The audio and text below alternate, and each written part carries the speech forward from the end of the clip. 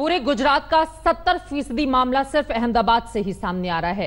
अहमदाबाद से लेकर चलते हैं आपको मध्य प्रदेश वहाँ पर अब तक इंदौर खतरे का सबसे बड़ा सेंटर बना हुआ है, लेकिन उज्जैन में कोरोना से हो रही मौतों का आंकड़ा भी डराने लगा है। महाकाल की नगरी में लगातार हो रही मौत ने कई राज्यों को भी पीछे छोड़ दिया है।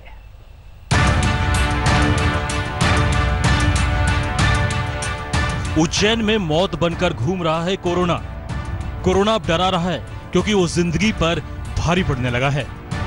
मध्य प्रदेश देश के उन राज्यों में है जहाँ आंकड़े तीन हज़ार के पार पहुँच चुके हैं। यहाँ इंदौर में एक हज़ार छह सौ इक्यासी कोरोना पीड़ित हैं और इक्यासी लोगों ने अपनी जान गंवाई है।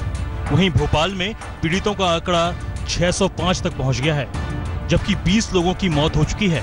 लेकिन असल टेंशन तो उज्जैन में बढ़ा है, जहाँ संक्रमितों की संख्या अभी 204 ही है, लेकिन मरने वालों का आंकड़ा 42 हो चुका है। महाकाल की नगरी में कोरोना काल बनकर टूटा है। सरकार तमाम उपाय कर रही है, लेकिन हालात संभलते नहीं दिख रहे। चंद रोज पहले ही बड़े स्तर पर प्रशासनिक फेरबदल किए गए और सख्ती भी बरती गई, लेकिन मौत की रफ्तार नहीं थम रही।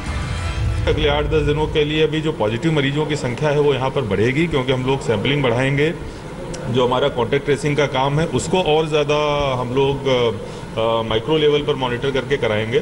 तो हो सकता है कि पॉजिटिव मरीजों की संख्या बढ़े, लेकिन उससे अपने को घबराने की आवश्यकता नहीं है। हमारा जो फोकस है कि जल्दी से जल्दी हम लोग वायरस की चेन को ब्रेक करने का काम करें और डेथ रेट को हम लोग नीचे लेके आए।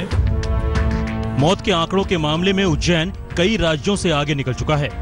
तमिलनाडु में कोरोना पीड़ितों की संख्या चार हज़ार अट्ठावन, जबकि तैतीस मौतें हुई है। वहीं आंध्र प्रदेश में एक हज़ार सात सौ सत्रह पीड़ित हैं। और 36 की जान जा चुकी है। बिहार में 536 पीड़ित हैं, चार लोगों की मौत हुई है। पंजाब में एक हज़ार चार सौ इक्यावन संक्रमित हैं और 25 लोगों ने अपनी जान गंवाई है। वहीं केरल में 502 लोग पीड़ित हैं, चार की मौत हुई है, लेकिन उज्जैन के आंकड़े आपके सामने हैं। उज्जैन में अभी भी बड़ी संख्या में टेस्टिंग बाकी है। ऐसे में आशंका जताई जा रही है कि आंकड़े काफ़ी तेज़ी से बढ़ सकते हैं।